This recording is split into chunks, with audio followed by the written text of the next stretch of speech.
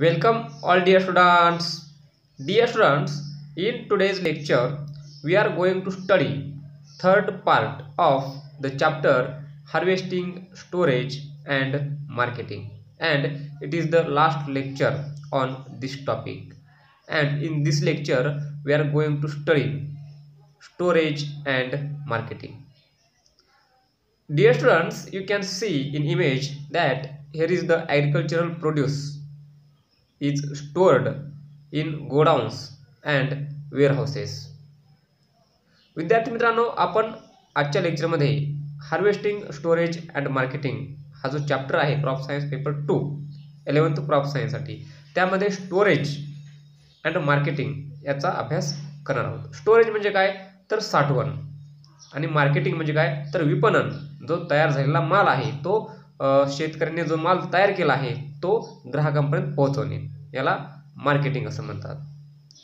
तर जो शेतकरी माल तयार करतो त्या तयार केलेल्या मालाची साठवणूक ही सुद्धा चांगल्या प्रकारे होणं गरजेचं आहे. नाहीतर अन्नाची नासाडी ही होऊ शकते. त्याचबरोबर साठवणूक केल्यानंतर तो जो माल आहे तो माल ग्राहकापर्यंत कशा प्रकारे पोहोचता येईल?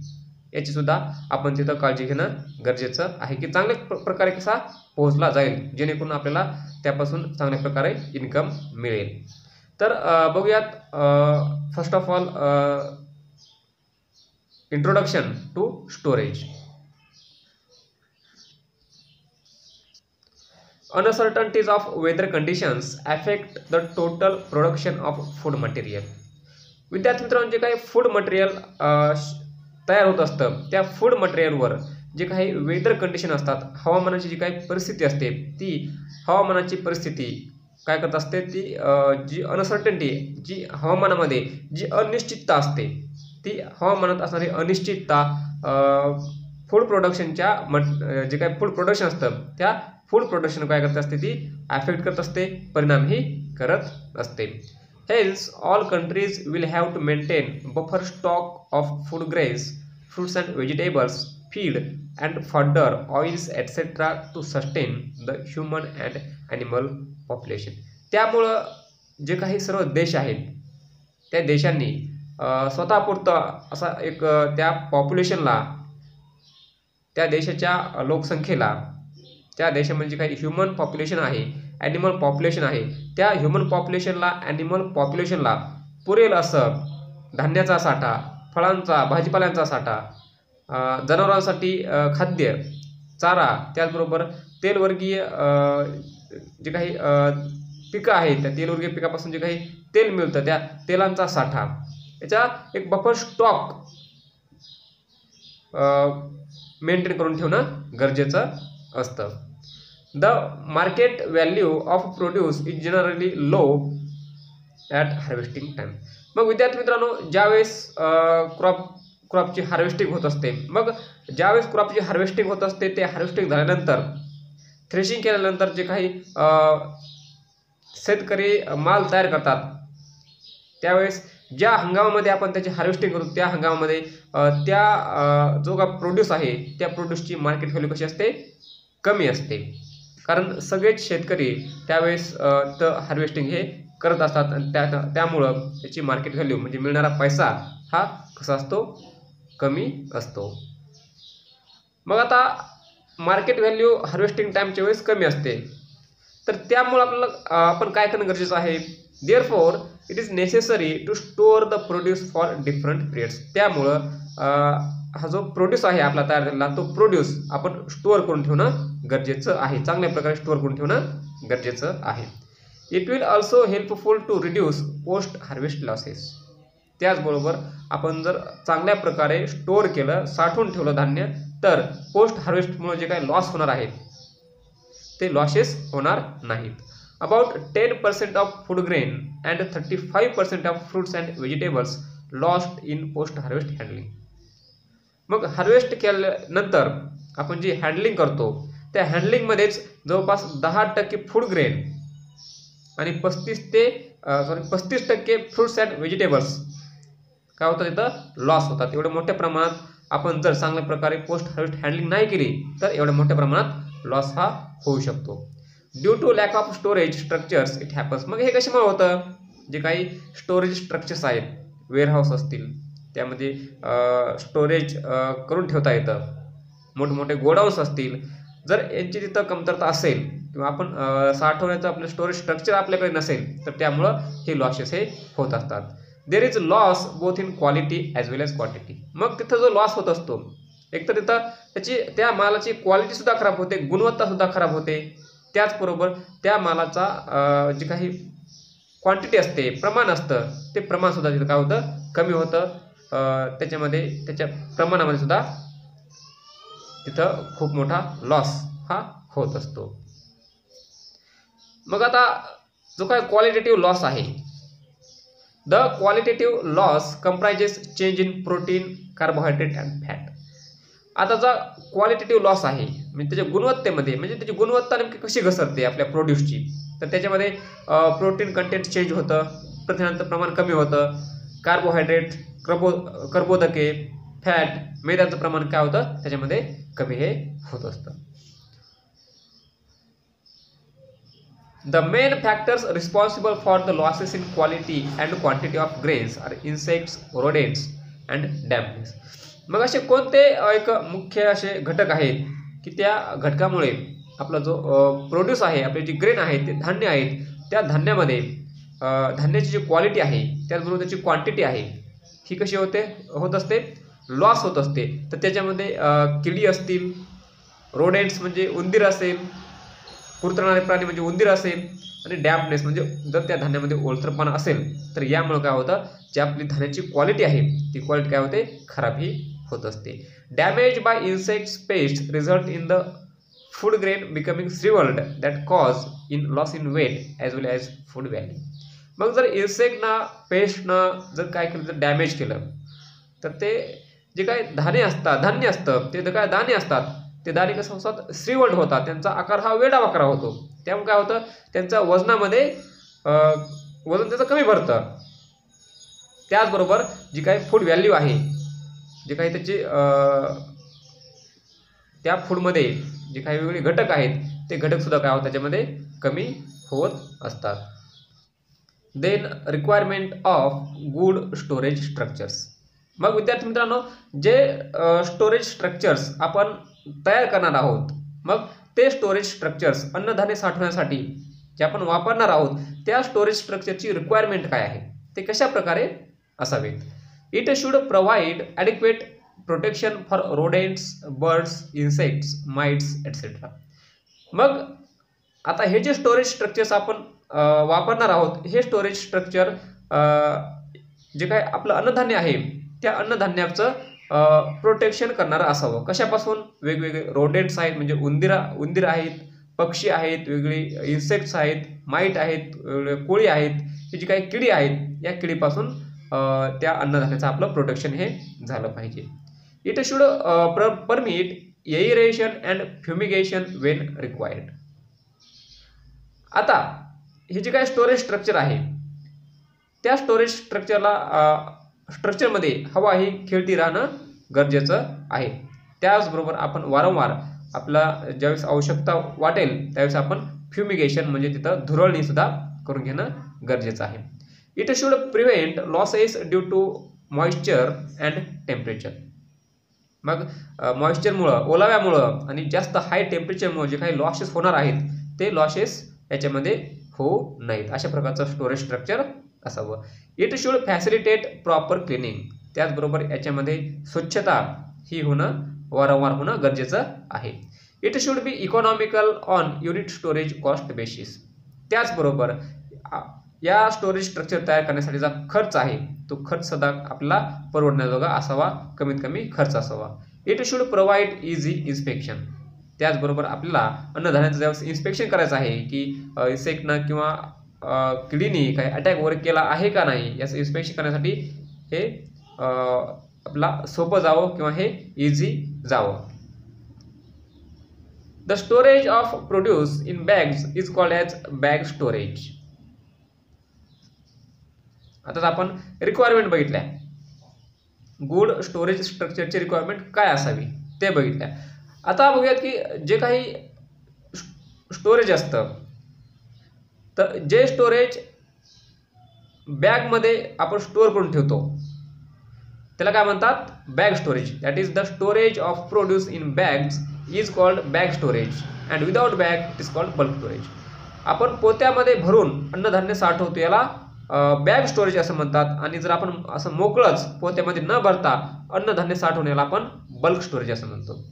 Under dry conditions produce has been held in bags in India in satisfactory condition up to three years आता ड्राय कंडिशनमध्ये कोरड्या परिस्थितीमध्ये कोरड्या स्थितीमध्ये जे जे काही प्रोड्यूस आहे आपलं ॲग्रिकल्चर प्रोड्यूस आहे ते प्रोड्यूस बॅगमध्ये आपल्या भारताचा जर विचार केला तर भारतामध्ये पोत्यामध्ये भरून आपण ते प्रोड्यूस दोन वर्षापर्यंत चांगल्या प्रकारे ठेवू शकतो. परंतु तिथं कोरडं हवामान असणं गरजेचं आहे. कोरडी स्थिती असणं गरजेचं आहे. On the other hand grains held in bulk can be stored without damage for periods up to five years बघा मग जर आपण धान्य पोत्यामध्ये न भरता आपण धान्य जसं आहे तसं एखाद्या बल्क स्टोरेजमध्ये आपण स्टोअर करून ठेवलं तर हे विदाउट डॅमेज याच्यामध्ये कोणताही डॅमेज न होता पाच वर्षापर्यंत आपण हे धान्य साठवून ठेवू शकतो.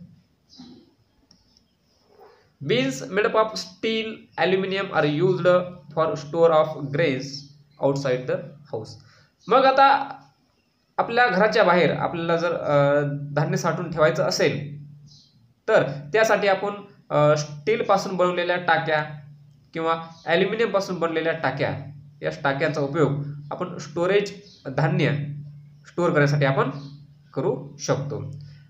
These are fire and moisture proof मग याचे जे काही टाक्या असतात स्टीलच्या ॲल्युमिनियमच्या त्या फायर आणि मॉइश्चर प्रूफ असावात म्हणजे आगीसाठी आणि ओलाव्यासाठी त्या ओलाव्याचा त्यांच्यावर काहीही इफेक्ट हा होऊ नये. त्या फायर आणि मॉइश्चर प्रूफ असाव्यात. त्यानंतर बघूयात फॅक्टर्स अफेक्टिंग स्टोरेज स्टोरेज म्हणजे साठवणुकीवर कोणकोणते घटक परिणाम करत असतात.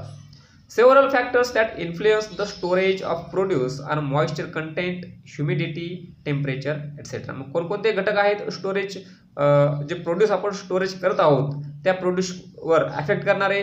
त्यामध्ये आहे मॉइश्चर कंटेंट म्हणजे त्या अन्नधान्यामध्ये ओलावा किती आहे? त्याच्यामध्ये ह्युमिडिटी किती आहे? आर्द्रता किती आहे? आणि तापमान किती आहे? The most important amounts this is moisture content of grains मग त्या सर्वांमध्ये एक अत्यंत महत्त्वाचं म्हणजे ग्रेनमध्ये धान्यामध्ये मॉइश्चर किती आहे ओलावा किती आहे?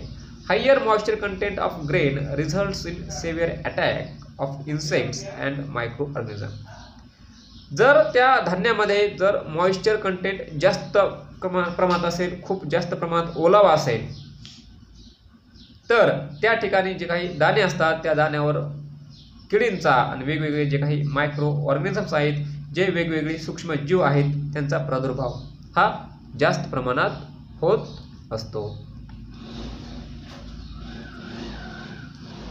When the moist grains are stored the moisture from upper layers moves downward and lower layers get deteriorated मग जर आपण ओलं असलेलं धान्य जर भरून आपण साठवलं तर काय होतं? जो काही त्याचा अप्पर लेअर आहे ते अप्पर लेअरमधून ते ओलावा हा खालच्या लेअरपर्यंत जात असतो. मग ते अप्पर लेअर म्हटलं तो खराब होतोच. त्याचबरोबर त्याचा जो खालचा लेअर आहे तो खालचा लेअरसुद्धा धान्याचा तिथं खराब हा होत असतो. Moist seeds are prone to higher insect attack than dry seed मग जे काही ओलसर दाणे आहेत त्या ओलसर दाण्यावर अटॅक हा इन्सेक्टचा जास्त होत असतो. कशापेक्षा? जे काही दाणे ड्राय आहेत कोरड्या परिस्थितीमध्ये आहेत. Moisture content for safe storage of grains of most crop is about fourteen percent जर आपण विचार केला तर जे काही क्रॉप आहेत जे काही मोस्ट ऑफ क्रॉप आहेत त्या मोस्ट ऑफ क्रॉपचे जे ग्रेस आहेत जे दाणे आहेत ते दाण्याची सेफ स्टोरेजसाठी चांगल्या प्रकारे सुरक्षित स्टोरेजसाठी त्याच्यामध्ये जे काही मॉइश्चर आहे ते मॉइश्चर किती असावं? चौदा टक्के असावं. त्यापेक्षा जास्त मॉइश्चर त्या दाण्यामध्ये असू नये. नाही तर तिथं इफेक्ट हा होऊ शकतो. लॉस हा होऊ शकतो.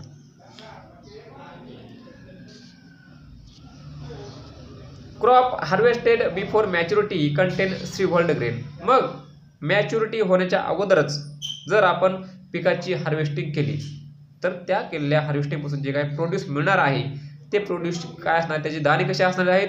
श्रीवर्ल्ड असणार आहेत वेडेवाकडे असणार आहेत. Mechanical harvesting through combines often results in higher proportion of broken grains and these are easily attacked by insects मग आपण यंत्राच्या सहाय्यानं जे कंबाईन हार्वेस्टर असतं त्या कंबाईन हार्वेस्टरच्या सहाय्यानं आपण काय केलं? हार्वेस्टिंग केली. तर काय होतं त्यामुळं जे काही दाणे असतात ते दाणे काय होतं असतात? ब्रोकन होत असतात. आणि हे दाणे जर ब्रोकन झाले तर दाणे ब्रोकन झाल्यामुळे काय होतं? त्याच्यावर सहजासहजी म्हणजे लवकरात लवकर इन्सेक्टचा अटॅक हा होत असतो. Among climatic factors temperature light and relative humidity are important factors not actors here is factors are important factors influencing storage of produce मग जे काही क्लायमॅटिक फॅक्टर्स आहेत त्या क्लायमॅटिक फॅक्टर्सपैकी टेम्परेचर म्हणजे तापमान लाइट म्हणजे प्रकाश आणि रिलेटिव्ह ह्युमिडिटी सापेक्ष आर्द्रता हे फॅक्टर्स जे काही प्रोड्यूस आहे त्या प्रोड्यूसच्या स्टोरेजवर काय करत असतात? जास्त प्रमाणात इन्फ्लुएन्स करत असतात. प्रादुर्भाव हा त्यांचा होत असतो. Respiration of grain increase increases the increase in temperature मग ग्रेस जेवढ्या जास्त प्रमाणात रेस्पायरेशन करतील जेवढ्या जास्त प्रमाणात त्याचं रेस्पायरेशन होईल तेवढ्याप्रमाणे त्याचं टेम्परेचर हे वाढत असतं. Temperature influences metabolism growth and development reproduction and distribution of insects मग जेवढं जास्त टेम्परेचर वाढल त्या दाण्यामध्ये तेवढं त्या ठिकाणी जे काही इन्सेक्ट आहेत त्या इन्सेक्टचं मेटाबॉलिझम वाढतं त्यांची ग्रोथ वाढते त्यांची डेव्हलपमेंट होते. त्याचबरोबर त्यां त्याच्या रिप्रोडक्शनसाठी सुद्धा तिथं ते हेल्पफुल असतं जास्त टेम्परेचर त्याचबरोबर ते त्यांचं डिस्ट्रीब्युशन म्हणजे ते रिप्रोडक्शन होऊन जास्त प्रमाणात ते डिस्ट्रीब्यूट तिथं होत असतात. Insect development is limited below ten degree Celsius and above forty five degree Celsius मग हे इन्सेक्ट जे आहेत ते इन्सेक्टची ग्रोथ दहा डिग्रीपेक्षा खाली ही कमी होते. त्याचबरोबर पंचेचाळीस डिग्री सेल्सिअसपेक्षा जास्त जर टेम्परेचर असेल तर त्या ठिकाणी तिथं त्याची ग्रोथ ही कमी होत असते. Now marketing. मार्केटिंग म्हणजे काय विद्यार्थी मित्रांनो? विपणन म्हणजे आपला जो माल प्रोड्यूस तयार झाला आहे तो प्रोड्यूस ग्राहकापर्यंत पोहोचवणे in image you can see here that some womens are in the market okay and uh, womens are marketing their agricultural produce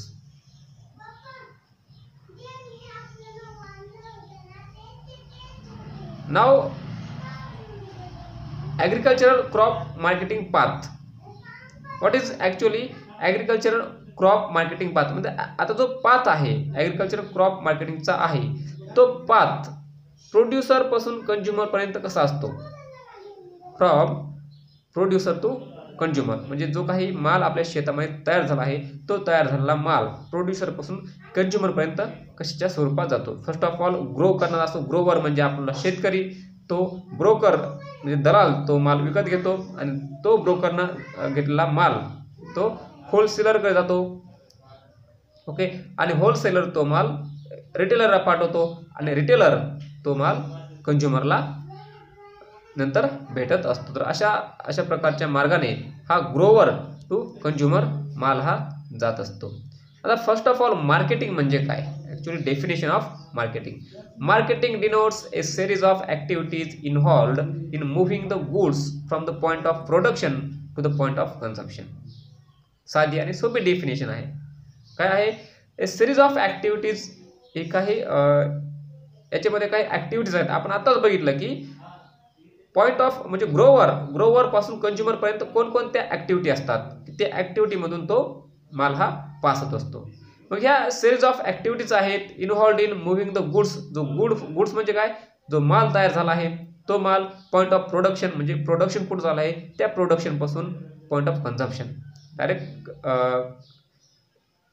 कंझ्युमरपर्यंत पोहोचवणे यालाच काय म्हणतात? मार्केटिंग असं म्हटलं जातं. Okay do you understand now agricultural marketing what is agricultural marketing it is a marketing of farm products produced by farmers and of farm inputs and services required by them in the production of these farm products बघा agriculture marketing म्हणजे काय? तर agriculture marketing म्हणजे काय? तर जे काही शेतकऱ्याकडे फार्म प्रोडक्ट्स तयार झाले आहेत ते फार्म प्रोडक्ट्स विकणे. त्याची मार्केटिंग करणे त्याचं विपणन करणे.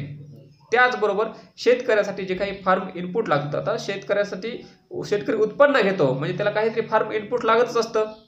मग जे फार्म इनपुट शेतकऱ्याला लागत असतं ज्या सेवा लागत असतात त्याचबरोबर या सेवांचा देखील समावेश या मार्केटिंगमध्ये होत असतो. ज्या सेवा जे इनपुट्स आता इनपुट म्हणजे काय? शीड लागतं फर्टिलायझर लागतं. ओके हे इनपुट यासुद्धा समावेश या ॲग्रिकल्चरल मार्केटिंगमध्ये होत असतो. तर यालाच ॲग्रिकल्चरल मार्केटिंग असं म्हटलं जातं.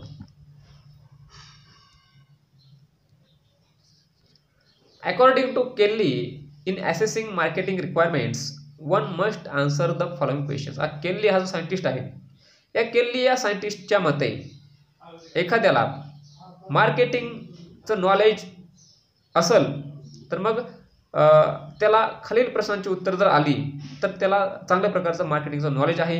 त्याला चांगल्या प्रकारे मार्केटिंग ही करता येईल असं केल्ली हा सायंटिस्ट म्हणतो. मग आता हे कोणते क्वेश्चन्स आहेत? तर how much where and when is the produce needed म्हणजे किती प्रमाणात कुठे आणि केव्हा तो प्रोड्यूस आवश्य त्या प्रोड्यूसची त्या मालाची आवश्यकता भासेल. त्यानंतर आहे what standards of quality are required म्हणजे क्वालिटी कशी असावी? त्या पॉप्युलेशन जो आहे लोकांना जी क्वालिटी आहे ती क्वालिटी कशा प्रकारचे आवडेल? At what price can it be sold मग आपण आपला जो प्रोड्यूस आहे तो प्रोड्यूस किती प्राईसला विकेल? या तीन प्रश्नांची जर उत्तरं आली चांगल्या प्रकारे तर ही मार्केटिंग रिक्वायरमेंट तिथं पूर्णही होऊ शकते. After getting to this answer this questions grower can plan for production in time to meet market demand this will help for increasing the profit of grower and satisfying consumer needs it is not grower g r o v e r not here is g r o w e r मग या प्रश्नांची उत्तर जर या प्रश्नाची उत्तर जर शेतकऱ्याला माहीत झाली तर तो शेतकरी काय करेल? त्याचा जो प्लॅन आहे हे क्वेश्चन शेतकऱ्याला माहीत असतील. तर शेतकरी काय करतो? त्याचा जो प्लॅन आहे कशाचा? प्रोडक्शन करण्याचा. मग तो तो प्रोडक्शन करण्याचा प्लॅन तो ॲडजस्ट करतो. म्हणजे कधी कधी आपला प्रोड्यूस कधी कोणतं प्रोड्यूस घ्यावं? ओके? याचा तो ग्रोवर म्हणजे शेतकरी हा विचार करतो. जेणेकरून आपण कंझ्युमरची चांगल्या प्रकारे नीड ही भागवू शकू. Okay do you understand here is not also grower here is also grower grower should absorb grower should observe the crop statistics of the region and demand of each crop त्याचबरोबर शेतकऱ्याने जे काही आपला area आहे त्या आपल्या रिजनमध्ये कोणत्या प्रकारची पिकं घेतली आहेत? कोणत्या प्रकारची पिकं किती प्रमाणात घेतली आहेत? त्याचं स्टॅटिस्टिक त्याचा सांख्यिकीय डाटा त्याला माहिती असणं गरजेचं आहे. जेणेकरून तीच तीच पिकं घेतली ज्या शेतकऱ्या ज्या शेत आपल्या रिजनमधले जे काही शेतकरी आहेत त्या शेतकऱ्यांनी सर्वात जास्त पिकं कोणती घेतली आहेत? आणि आपण कोणतं पीक घ्यावं की आपल्या पिकाला जास्त भाव मिळेल? म्हणजे आपल्या पिकाला डिमांड मिळेल याचा विचार त्या ग्रोवरनं करणं गरजेचं आहे शेतकऱ्यांनी करणं गरजेचं आहे. It is also necessary to know what motivates consumers to buy certain produce and purchasing power of consumers. त्याचबरोबर शेतकऱ्याला हे सुद्धा माहीत असणं गरजेचं आहे की जे काही कंझ्युमर आहेत जे काही ग्राहक आहेत त्या ग्राहक मोटिवेट कसे होतील? की असे काही सर्टन आपण प्रोड्यूस घेऊ असं काही काही सर्टन असं काही निश्चित आपण उत्पादन घेऊ की त्या उत्पादनामुळं ग्राहक हा मोटिवेट होईल त्याला प्रेरणा मिळेल मिळेल. आणि त्याचबरोबर जो काही ग्राहक आहे त्या ग्राहकाची पर्चेसिंग पॉवर काय आहे? जे की कोणता प्रोड्यूस तो ग्राहक घेऊ शकतो हे सुद्धा आपण तिथं त्याचा विचार करणं गरजेचं आहे. The production should also be planned to make produce material available continuously or in off season मग हे प्रोड्यूस प्रोडक्शन आहे त्या प्रोडक्शनचा प्लॅन अशा प्रकारे केला पाहिजे की जे मटेरियल आहे ते मटेरियल आपल्याला त्या शिजरमध्ये जर अवेलेबल झालंच पाहिजे परंतु ऑफ शिजरमध्ये सुद्धा ते मटेरियल आपल्याला अवेलेबल झालं पाहिजे अशा प्रकारे जर आपण प्लॅन केला तर निश्चितच आपल्याला इन्कम हे जास्त मिळेल. After that factors influencing marketing मग मार्केटिंगमध्ये जे काही ॲग्रिकल्चर मार्केटिंग आहे आपल्या प्रोड्यूसची त्या ॲग्रिकल्चर मार्केटिंगमध्ये कोणकोणते फॅक्टर्स हे इन्फ्लुएन्स करत असतात त्यांचा प्रभाव हा जाणवत असतो. स्टोरेज अँड ट्रान्सपोर्ट आपलं स्टोरेज कशा प्रकारचं आहे? आपण स्टोअर कसं करतो? त्याचबरोबर ट्रान्सपोर्ट आपली वाहतूक कशी आहे? हा पहिला घटक झाला. Nature and quality of produce म्हणजे प्रोड्यूस कोणत्या प्रकारचा आहे आणि त्याची गुणवत्ता कशी आहे? पब्लिसिटी आपण जो प्रोड्यूस घेत आहात त्या प प्रोड्यूसची पब्लिसिटी आहे का? पब्लिक ते प्रोड्यूस विकत घेतील का? हा सुद्धा फॅक्टर तिथं प्रभाव पाडत असतो. मार्केट नॉलेज म्हणजे आपल्याला मार्केट नॉलेज किती आहे हा सुद्धा फॅक्टर तिथे महत्त्वाचा आहे. ट्रेडिंग विथ मिनिमम मिडलमन त्याचबरोबर मिडलमन म्हणजे जे का मध्यस्थ करणारे लोक असतात. ओके कमीत कमी त्याच्यासोबत ट्रेडिंग ज्या त्यामध्ये मिडलमनना कमीत कमी भाग हा घेतला पाहिजे. मग जेवढे जास्त मिडलमन भाग घेतील तेवढं काय होईल? शेतकऱ्याकडे कमी पैसा येईल. त्यामुळं मिनिमम मिडलमन आप त्या प्रोड्यूस म्हणजे काय? मार्केटिंग आपल्या त्या प्रोड्यूसची करायची आहे त्या प्रोड्यूसच्या मार्केटिंगमध्ये असणं गरजेचं आहे. तर हे फॅक्टर मार्केटिंगवर इन्फ्लुएन्स करत असतात.